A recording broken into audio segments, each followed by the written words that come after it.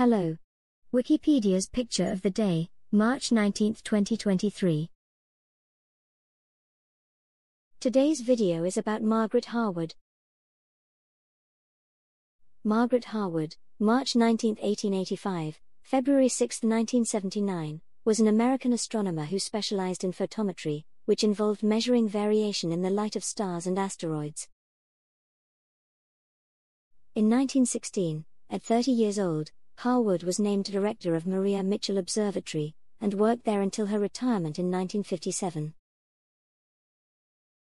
In 1917, she discovered the asteroid 886 Washingtonia four days before its formal recognition, but was advised not to report it because it would have been inappropriate for a woman to do so. In 1923, she became the first woman to gain access to the Mount Wilson Observatory, and in 1924 was the first woman allowed to use the observatory's 60 inch telescope, the largest in the world at the time. In 1960, an asteroid discovered at Palomar was named in her honor as 7040 Harwood. This photograph of Harwood is in the archives of the Smithsonian Institution. Thanks for watching. And don't forget to like, comment, and share.